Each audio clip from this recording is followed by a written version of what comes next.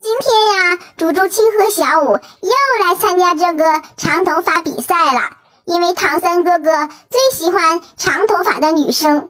你们快看，这个猪猪青，他连饭都不吃，吵着把火的就赶在了小五妹妹前面。你这也太有心计了吧！我呀，不让你收集长头发。你们看，他现在一根头发都没有收集到。马上到终点了，再给他选择一个最难看的颜色，来看看他的头发有多长呢？天呐，不及格！现在登场的是我们的小五妹妹。